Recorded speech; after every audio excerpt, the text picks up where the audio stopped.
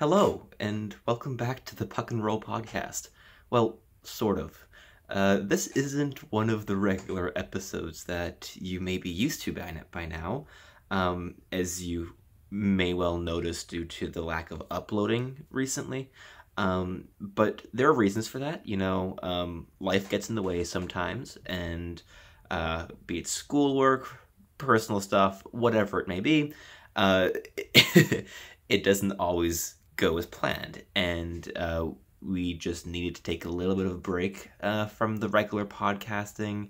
Um, but I was thinking of a little alternative just to give you listeners some content and uh, something that is uh, that very doable for me is just talking about prospects because it's kind of what I do and I've been watching a lot of hockey. Um, that was a lot more enjoyable than watching the Habs recently. And while I'm not really going to go into detail on the way the Habs have been playing, I'm just, look, I'm just going to say that seeing the news today that Sami Niku might not be in the lineup, um, that was kind of heartbreaking considering he's been by far the Habs' best defenseman since he's gotten into the lineup.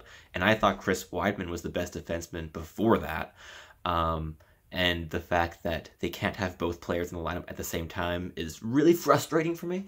Um, but yeah, it's just it's it's been that kind of season, right? Like we had our big high in the playoffs, and now it looks like our season's um not gonna end with any playoff time, and. Um, I know we've discussed that at length uh, going into the season on this podcast of like predictions and stuff, and uh, mine switched from like August to end of September, early October because I just didn't see it with this lineup and the chemistry hasn't been there. They've been underperforming even their terrible expected goal metric. Um, everything has been bad, but the Habs being bad means a potential very good draft pick. And that's what we're going to focus on today. We're going to try to be a little bit optimistic, uh, or I guess just seeing the silver lining in all of this. And that's just seeing what kind of player the Habs could get if they end up with a top 10 selection. The nightmare is that they end up with the 11th overall pick, which will then get transferred to the Arizona Coyotes from the Christian Dvorak trade. And that the Habs would only have the first round pick of the Carolina Hurricanes, which is likely going to be um, not a very high selection based off of their start to the season, which has been tremendous. Um, but yeah, let's let's just take a look at some of the players at the top end of the draft to start this off, and I guess we'll just see where it goes. I might ramble into players that are obviously not going to go in the first round, but we'll we'll see. We'll, we'll we'll think about that once we get there. We'll focus on uh, just this. Oh, and by the way, if you are watching this on YouTube, this is my face. You may not have seen it before. I'm Sebastian High. I'm half of the Prospect Heroes, but uh, yeah, hello. And uh, let's just get straight into this. So obviously, the the, the player that ev- or all Habs fans that want to tank are vying for is uh, Shane Wright. Like this is a player who played in the OHL with exceptional status and dominated the league doing so, uh, scoring, I believe, 39 goals as a rookie. Uh, but I am just going to double check that because he is just a really, really good player.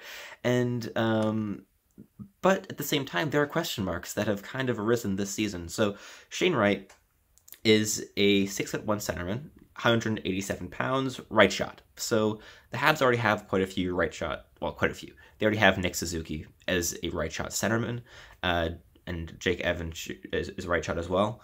Um, but yeah, so Shane Wright in his rookie season as a 15 16 year old in the OHL playing with the Kingston Frontenacs scored 39 goals and 66 points in 58 games which is a ridiculous tally. And he, he did that as already the assistant captain as a 15 year old. Like, that is unheard of base. I mean, in, in, at least to my knowledge. So he, he led he led the entire team in points as a 15 year old. Second top uh, point producer and goal scorer was Zayde Wisdom, who is a very fun prospect as well in the Flyer system. And so Shane Wright is he's a difficult player to describe for me just based off of what I've seen this season, comparing that to what he was before the pandemic.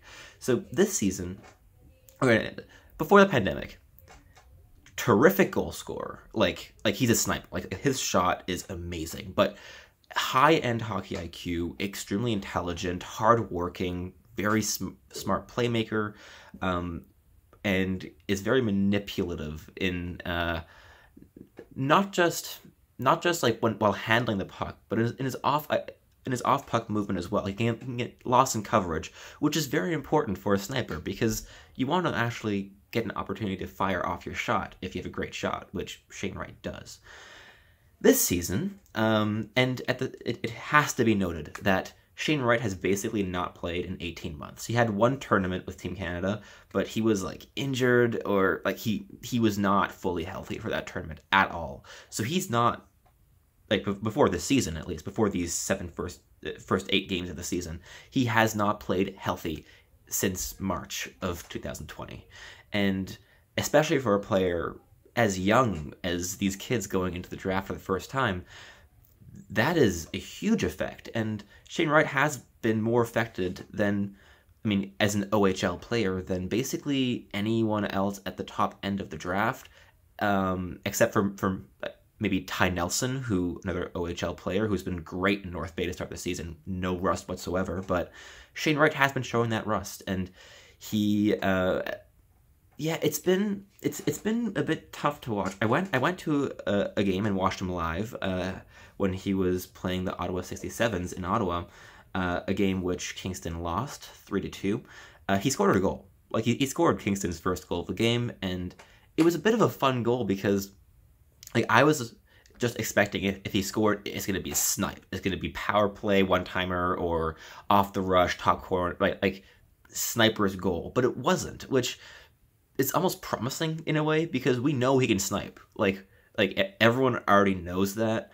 And but this goal that he scored was uh, a gritty goal of he went to the front of the net uh, and puck got, gets to him. He whacks at it, it's saved, and then while falling down, he whacks at it again and it goes in. And it was a really nice goal to see because he showed some diversity as a player, which I like. Um, and he also showed bright spots like in transition very manipulative and uh, he has a gravitational force like drawing everyone towards himself and then making the smart play of bringing it of like passing it to a line mate who and then they have an odd man rush like very intelligent player and aware of what advantages his skill can bring in elevating his teammates as well and i like that at the same time the shane wright of this season has been a good player he's not been the shane wright that people have expected and that people saw t- like a year and a half ago, two years ago. Uh, eight points in eight games is a very slow start for a projected first overall pick, especially in a league. I mean, in, in the OHL and the CHL, you, like you, as a first overall pick, as a sniper, as a high octane offensive player, you need to be scoring more than a point a game. Uh, I mean, just just look at someone like I don't know, um, yeah, Matthew Savoie. Uh, he's, he's had a great start to the season with Winnipeg. It's a it's a powerhouse team, which Kingston is not, but the very very productive offensively. And Shane Wright just hasn't been that just yet. Um, I I've seen him, I guess, just drifting a lot, not being as implicated as um, he was in the past. Like he he kind of waits for the puck to get to him for him to do something with it sometimes, and I don't I don't know if it's like a conditioning thing, if he's playing with an injury, if it's just rust, but whatever it is, it's not what you'd expect from a franchise player. And like Shane Wright probably was never going to be generational talent, but franchise talent, like franchise defining, like top 20 player in the league, I thought, but I mean, many people thought was totally achievable for him. And he hasn't quite shown that this season yet still only eight games. It's a long season. It's it could just be a slow start, and I don't think anyone should make any definitive uh, statements about him until like the new year. But um, it doesn't necessarily scream first overall pick. What we've seen this season, right? Like we saw two years ago did, but this season hasn't quite done that just yet. Uh, and part of the reason that doesn't scream first overall pick is just the strength of the rest of the class because it's a very strong draft class. Like, not, I, I, I don't think it's the strongest class of like the last decade or anything, but it's especially in contrast to last year's draft class. This is a very very strong one. And Matthew Savoie, this is a player who is a five foot nine centerman, and usually those kind of players slip in the draft. Um, and he might, right? Like, like I, I would, I would not be shocked if, um, if Morgan, not Morgan, if Conor Geekie uh, goes before Savoie, they're they're both teammates with the Winnipeg Ice, and Geekie is this six foot four centerman. Uh, and while that sounds massive, he doesn't really use his size. Um, he's just a very creative playmaker and very fun to watch. He's a great skater.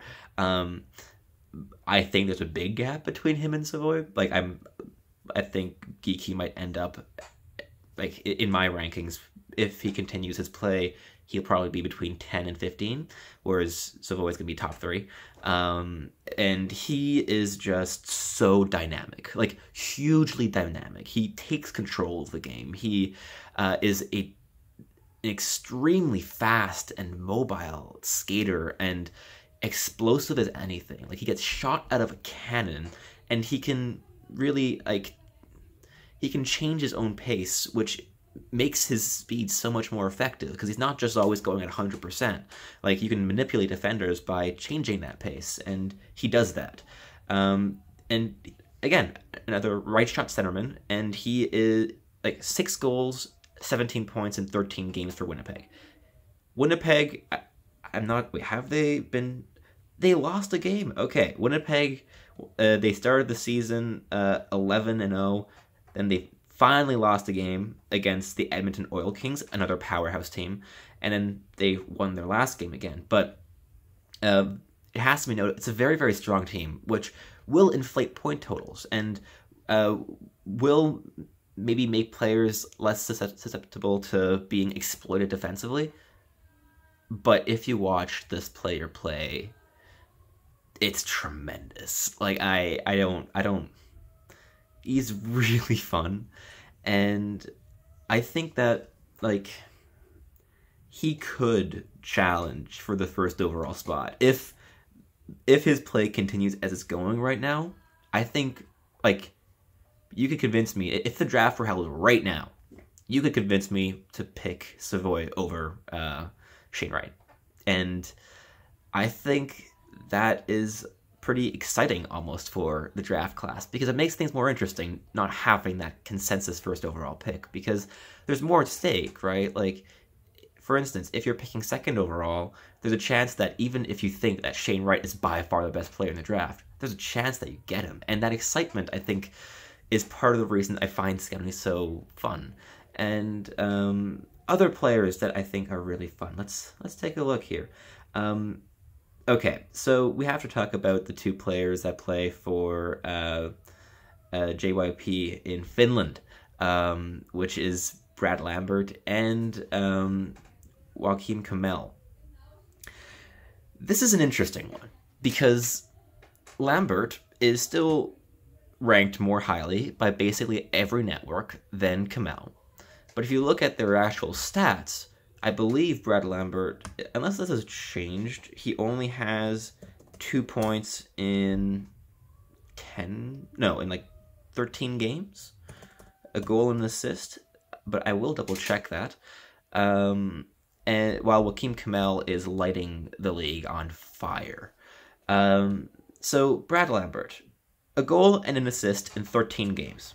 So, in terms of just a production standpoint, which is so far from the entire story, this is underwhelming. Like like the Liiga is not quite like the SHL in terms of quality of play. Young players can take hold of this league, which Kemell has. Uh, Kemell has been scoring at an absurd rate. Um, I believe he's still leading the league in both goals and points as a 17 year old who only turns 18 in April, end of April. And yeah, so 12 goals, 18 points in 16 games. Which is ridiculous. It's it's absurd. But you have to also look into how these points and goals are coming. So with Kemell, he scored almost a handful of goals that are just kind of lob shots from the point. Um, he, he's either he's a right winger, but like just circling around the offensive zone and then lobbing in a shot, and it just makes its way through and goes in. Right, like this is not a type of goal that gets scored in the NHL. It's not projectable, um, and that has to be noted. At the same time, whenever I've watched this team play, which has been on four occasions thus far, Kemell has impressed me in every facet of the game. Like, not just goal scoring, in his playmaking, in his movement, in his intelligence, in his defensive play, his play in transition, in offensive transition. Defensive transition, I haven't seen much yet, but in offensive transition, he's been solid. Um, not as good as Brad Lambert in transition. Like Brad Lambert is a almost like Matthew Savoie in transition of he's a phenomenal skater, takes really smart routes of getting the puck into the offensive zone. He uh, has zone entries at a ridiculously high rate. Uh, especially for a teenager in the Liiga, he's doing great in that facet, and uh, like other scouts have been talking about this of while Kemell's been overperforming his metrics or his expected goals or whatever it may be, his what like he's been overperforming in his stat line compared to what his well, what his play would would um, I guess uh, prompt. But uh, Lambert just has gotten so ridiculously unlucky. Like he he's been hitting posts. He's been um, like getting great, like forcing goalies to make ridiculous saves on him, and he's a very very good player. Like when when you when you watch the team, like Brad Lambert is by no means a player that should only have two points in 13 games. This is a dynamic offensive player who gets power play time on the second unit. Uh, both players play in the same spot on the power play. They're both right shots, and they play at the top of the left circle as a one timer option, which Kemell really is a one timer option. Brad Lambert, um, primarily a playmaker, uh, but he can shoot, right? Like I, I, I've seen him get some good shots off uh, from that spot, and it's it's it's really interesting because you just see people talking about these two guys and comparing them because you naturally do when they're on the same team and they're both projected to be top 10 picks. And on the one hand, you have the guy that's projected more highly and has been for a long time. On the other hand, you have the guy that is whose production is literally eight times as much. Like, no, nine times as much. Like, how do you compare them?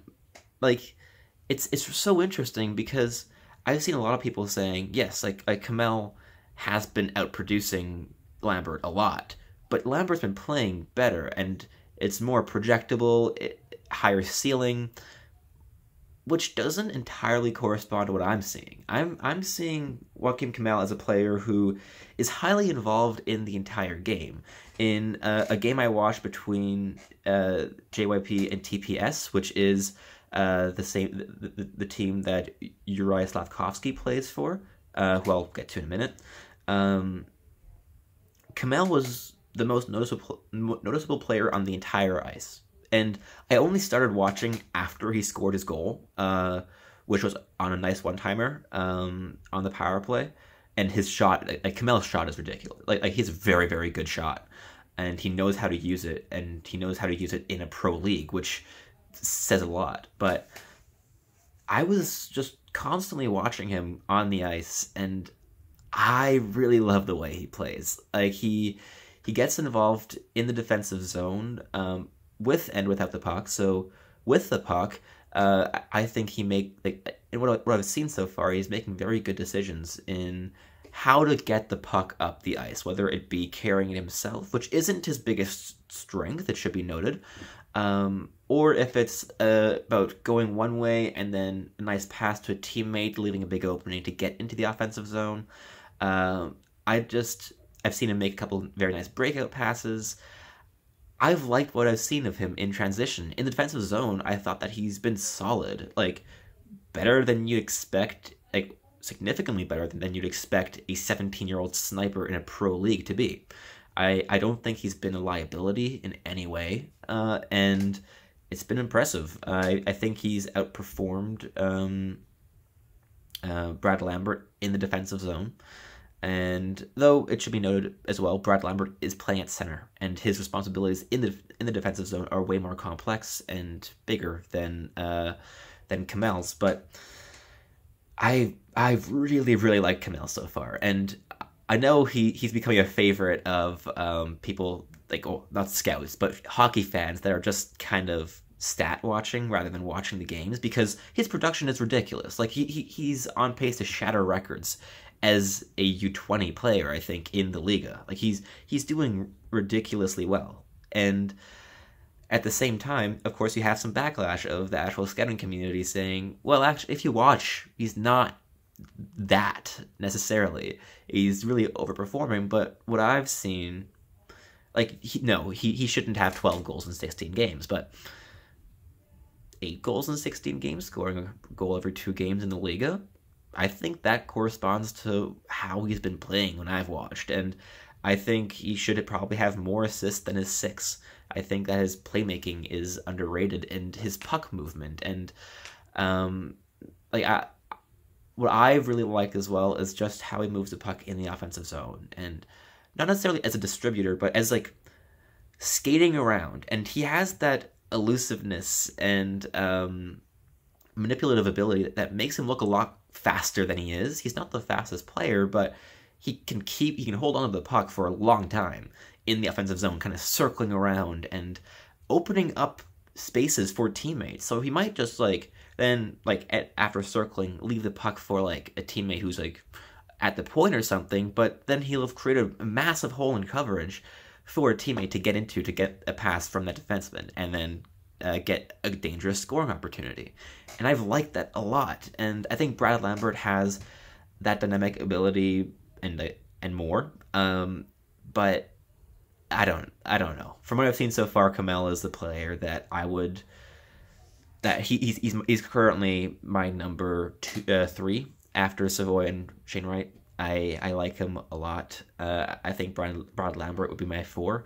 I haven't gotten a chance to watch uh, Logan Cooley yet, and I think that might shake some things up. Um, about like Uri Slafkovsky, he's really interesting. I, I I only watched that one game of him, so my sample might be completely skewed, and what I'm saying might make absolutely no sense. But I've liked him in that he's this massive, like six, foot six. I think he's six six. I'm gonna double check that just to make sure. Um, yeah, uh, six foot four, but 225 pounds as a left winger. Like this is a mat. It's a unit of a player. He's huge, and what I like is that his playmaking is really quite impressive. Um, I was expecting him to be a goal scorer uh, because I went into the game not really knowing much about him at all. Uh, I I hadn't even really visited his elite prospects page uh, and looked at his stats in the past, and but yeah, like he he's a he, he's a playmaker. He, he has three assists in twelve games for TPS, uh, and one of those came in the game that I watched, which was on the power play. He was uh playing below the goal line, and just a nice simple play of uh got past the puck. He uh, just tapped it to the bumper, and bumper one times it, and he scores. But his movement of getting into that, that position and eluding coverage was really great.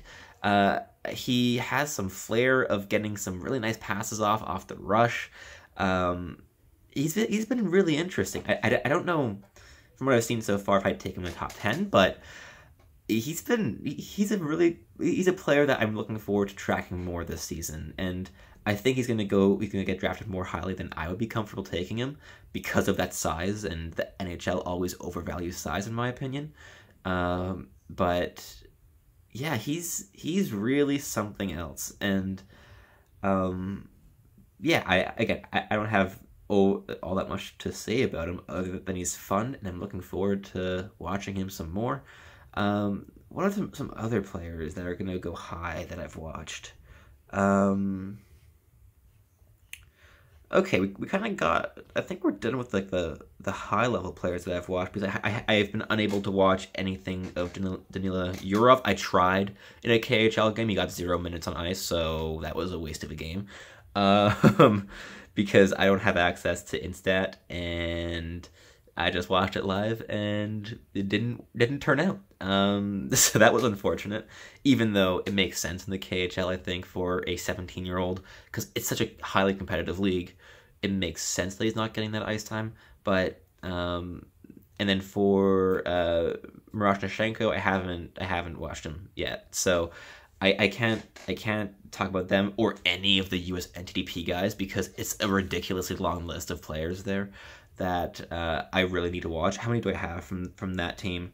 I have 11 players that I wanted that, that are draft eligible this year that I wanted to look at from that team. Logan Cooley, Rutger McGroarty, Ryan Chesley, Tyler Duke, Cruz Lucius, Lane Hutson, Frank Nazar, Isaac Howard, Seamus Casey, uh, Devin Kaplan, and Cole Spicer. Like that's ridiculous. Like, uh, anyways, I'm, I'm I I have my work cut out for me just for that one team. But yeah, I think I think I'll just talk about a couple players that I've liked that aren't going to go in the top end of the draft that aren't potential targets for a Habs selection in that range with the pick that's likely going to be very high this season. Um, so Patrick Lortie and I, uh, we went to a a game of the Gatineau Olympique a couple weeks ago with media passes, which is still ridiculous. Like I, I, I haven't wrapped my head around having access to a media pass yet, but um, as a result of that, I've been I've been watching quite a bit of Gatineau. Uh, just the one game live thus far. That's that, that's going to change very quickly. Um, but I've watched a couple streams. I think I'm at four games now that I've watched of them, like, like complete games. Um, and Noah Warren, oh my god, this player.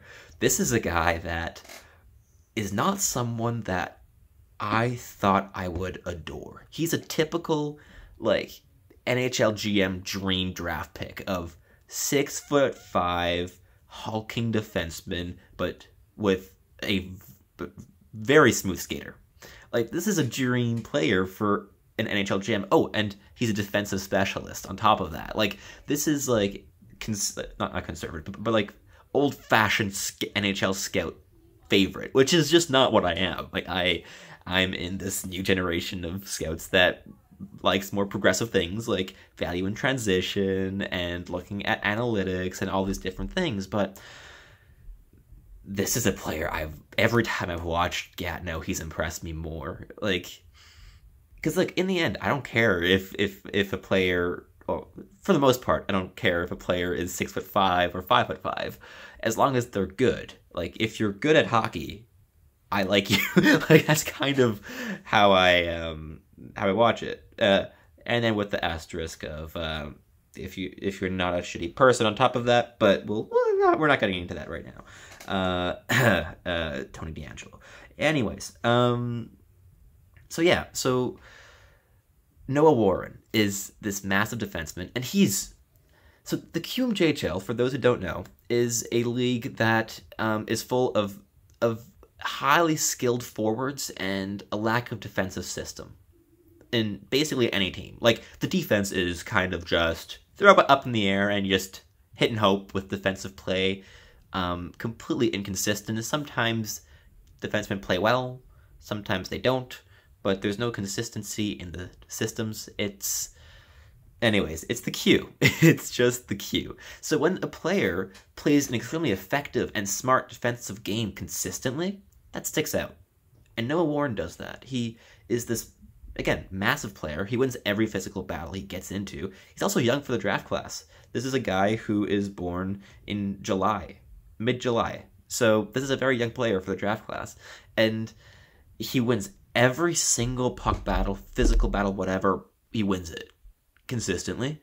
And he uses his body really intelligently to put some distance between opposing players and the puck, uh, like separating them from the puck. And his, uh, I've really liked his gap control. I think that he's he's a good enough skater where if there's a guy on a breakaway, he has the skating speed and just the length of limbs to catch up and whack the puck away. And he's just very, very smart defensively. Um, I think he makes the, the good, simple play in in the breakout pass or just in regaining control of the puck. So if the puck's behind the net, puck battle, or if he gets there first and then there's a forechecker coming behind him, he knows it. He's very aware. He's he has great spatial awareness, and he just makes a simple pass to his defensive partner, and we're all fine and dandy, and it goes the other way. It's very effective. It's fun to watch, and he has just been really good whenever I've watched him. He's also, again, good enough skater. He can bring the puck up the ice himself. He doesn't do it consistently. Uh, I'd like him to do it because he has the skill. He has the ability, and again, just really fun player. I, I've liked him a lot. He he's been so good that he's been elevated to the second power play unit from getting no power play time at all.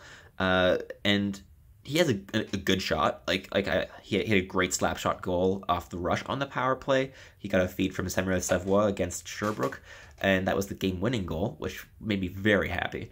Um, but in the game that Patrick and I went to, he had two primary assists on the power play, uh, one of them was phenomenal because you, you saw he was itching to take a shot, and he finally got the puck.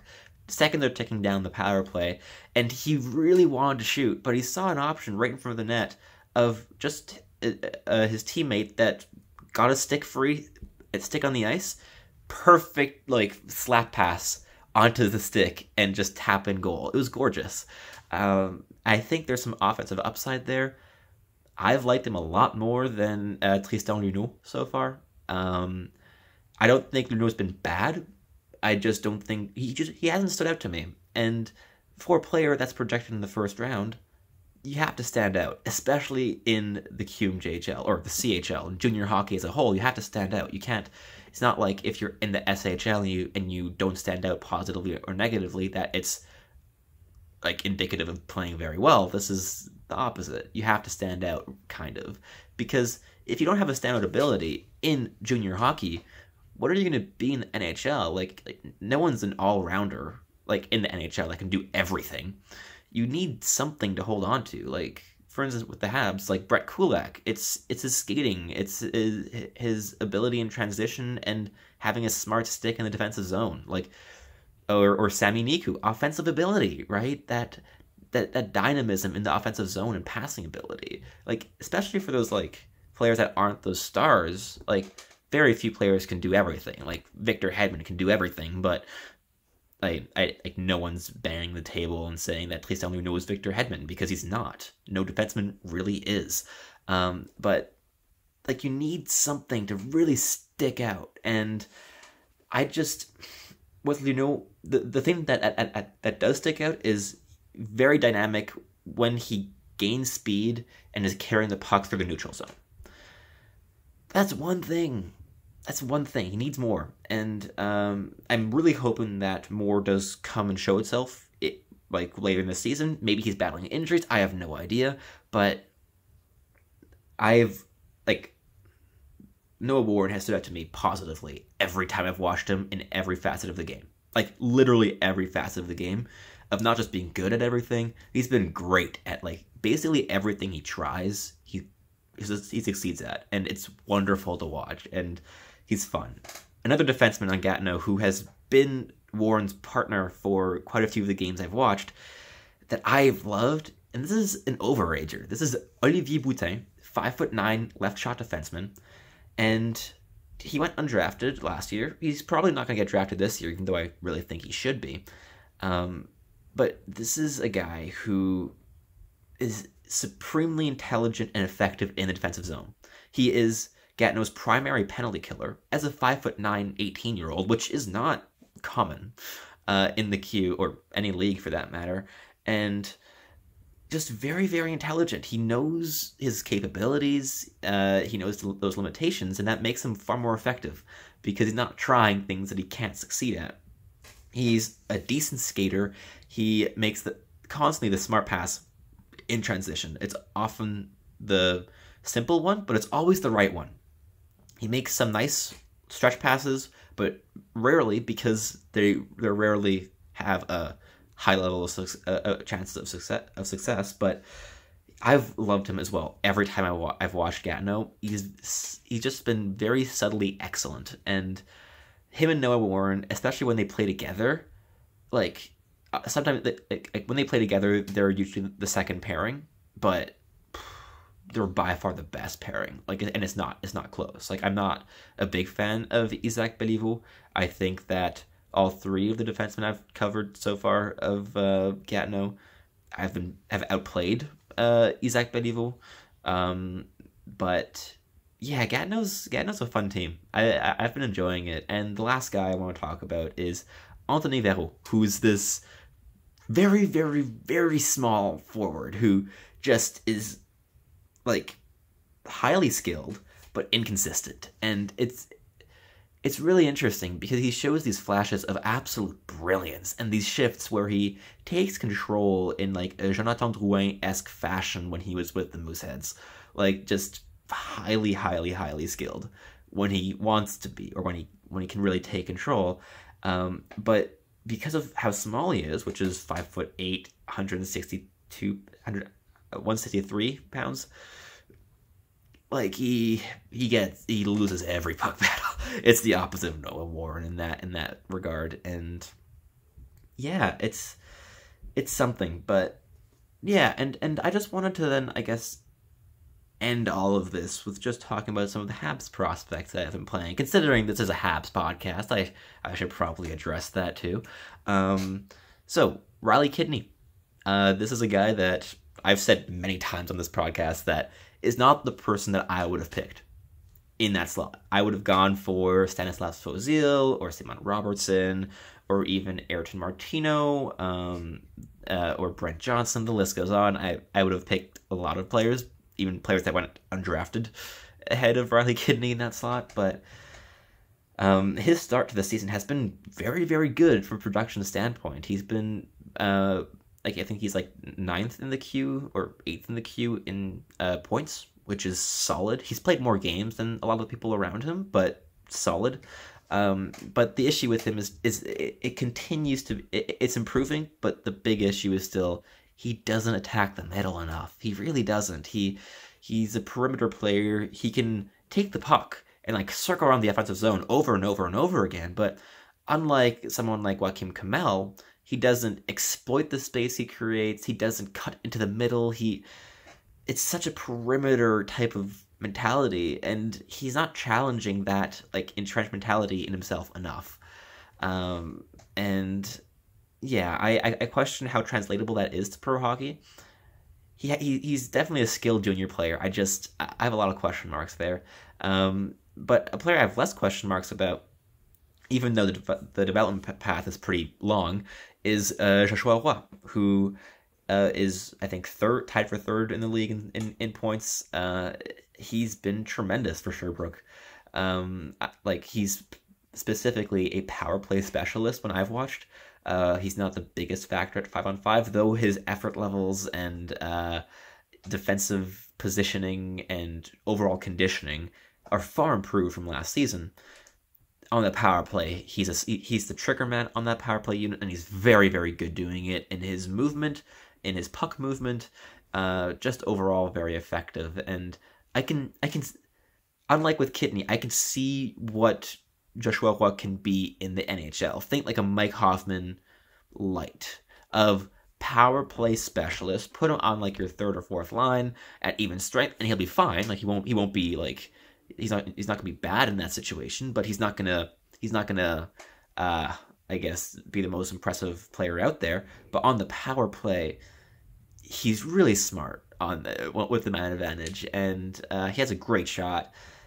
I like him. I I I, I think that as a fourth round, no, fifth round pick, that was a really smart swing for the Canadiens because this is a this is a guy who has definitely has has like flaws as a player. Every player does, but like quite clear flaws as a player, um, just in terms of even strength impact from what I've seen so far this season, which was also the case last season.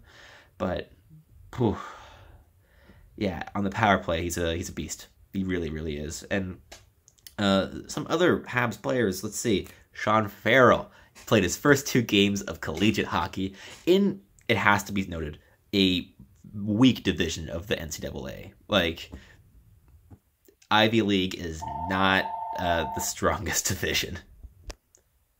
Like it's not it's not it's not like Hockey East or the Big Ten where it's very competitive and a lot of like very good players play there. It's it's it's Ivy League. It's it's it's it's it's, it's easier. And his seven points in two games they demonstrate that right? Like he this is not a typical like freshman uh, college player uh, considering he is like what almost 20 years old? Is, is he already 20 i think he may be. Um, but he he's pretty old to be in his first year of college but he this I've always loved Sean Farrell. I, I had him ranked at 36, I believe, um, in when he was drafted, and the Habs got him at 124. So like that's that's tremendous, and I um, yeah I I've always loved him, though. It's so impressive how his shot has progressed. Like in his draft year, he was like this really high end, borderline elite playmaker, but like his shot was a bit of a muffin. like it, it, it, wasn't it wasn't the best. Uh, last year he became a, a real one timer option on the power play, and then now like his his shot like he scored two goals last night for Harvard, and uh, both of them were one timers. Both of them were one timer slap shots. Like it's great. I, am so happy to see it because he's becoming diverse, and that shooting um, threat is also really opening up his playmaking options, and especially on the power play. And this is a guy like seriously second line winger. I'm I'm still seeing that. I uh, I've seen it ever since draft day. Like I'm seeing a sec- uh, him developing into a second line winger. I love him.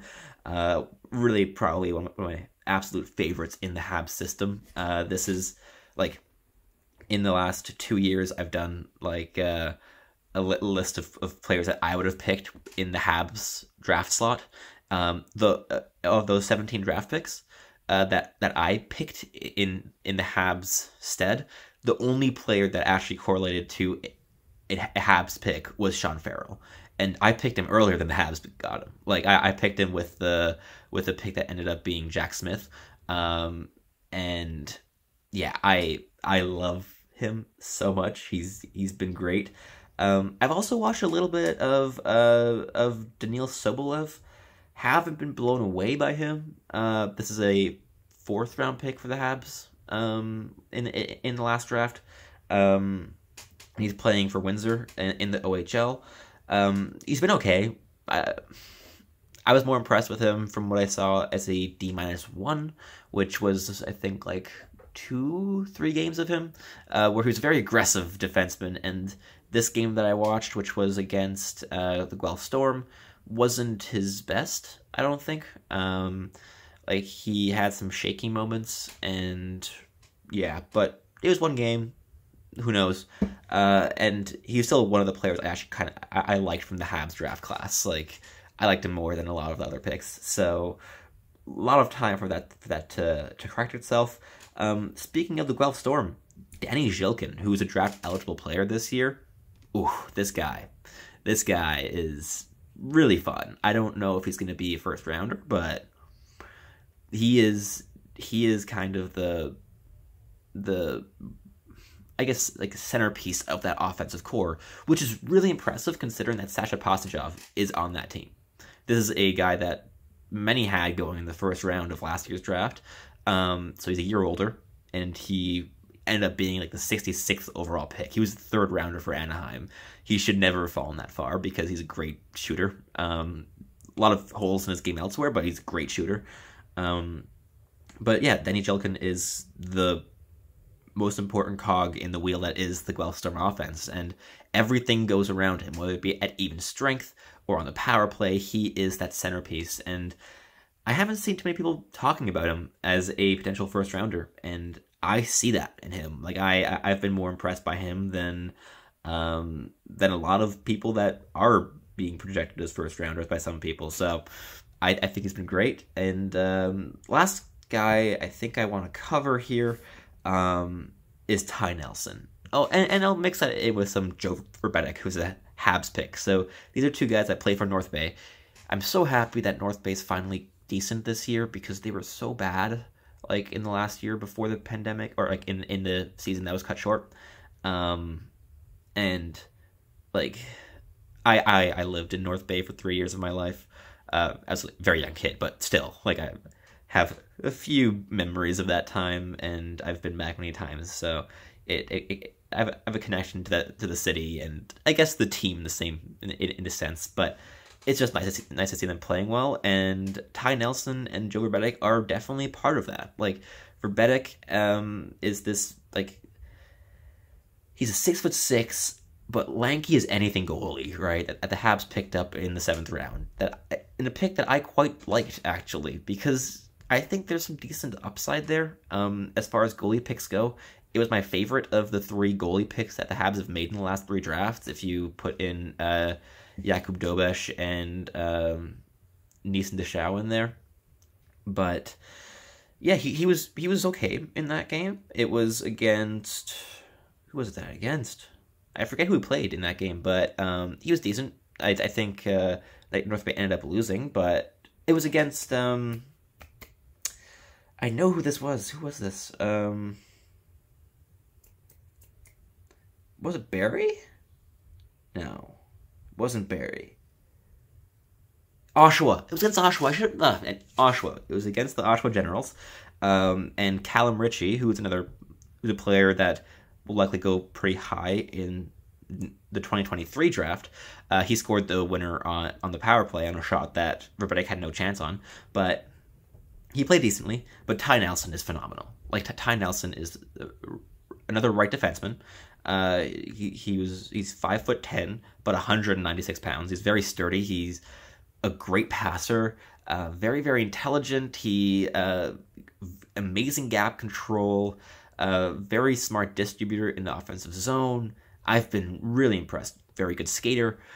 I've liked him a lot. Um, I think he's been significantly better, like than uh, Tristan Luneau. And I've seen a couple like like mock drafts that have them in like the same the same category and like the same couple range of picks, but I, I see a really really big difference between those two.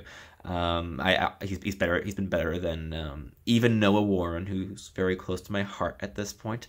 Um, but there there's just a level of dynamism and uh, dominance with Ty Nelson that just isn't there with uh, with Noah Warren all over the ice. Like like sure in the defensive zone, yes, but like in transition, in passing, in overall play, Ty Nelson has been phenomenal. Uh, and yeah, I think I'm probably going to end this there. This was meant to be a quick little segment. Um, and I, I kind of went overboard, but that's okay because you guys haven't gotten any content basically for uh, a while um, with the podcast. So I, I think it's okay that I'm approaching 50 minutes with this. But um, yeah, anyways, so if you guys want to leave comments or uh, like just contact the podcast or me personally with like recommendations for players to watch or whatever, like you just want to have a chat, whatever it may be, totally welcome to do so. Um, and yeah, like ho- hopefully the podcast is gonna be up and running normally again relatively soon, but we're definitely gonna get some content out for you all no matter what. So uh, no need to worry about that. And yeah, I, I, I hope I hope you're all doing well despite the Habs not playing well at all. Um, but yeah, I think I think that concludes this episode. Thank you very much if you listened to the entire thing. Uh, it's not really an episode. It's I don't know. I'm gonna call it half an episode, but yeah, this concludes it, and I I hope you all enjoyed.